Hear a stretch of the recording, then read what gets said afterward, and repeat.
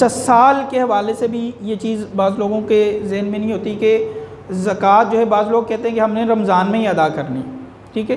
तो रमज़ान में ज़क़़त अदा करना बेशक बाईस सवाब है और इसमें ज़्यादा सवाब होता है, लेकिन ये चीज़ ख्याल में कर लें कि अगर किसी की ज़क़़त का साल पहले पूरा हो रहा है, ठीक है, रजब में पूरा हो रहा है, शाबान में पूरा हो रहा है या रबी अव्वल में पूरा हो रहा है, हर बंदे की ज़क़़त का साल डिफरेंट होता है, ठीक है? वो कैसे पता लगता है? जब आपके पास पहली मरतबा इतना माल आया जो निसाब के बराबर था।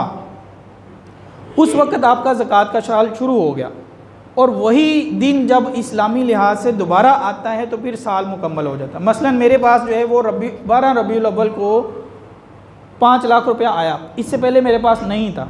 मुझे किसी ने दे दिया। अब मेरा रबी अव्वल को ज़क़़त का साल शुरू हो गया।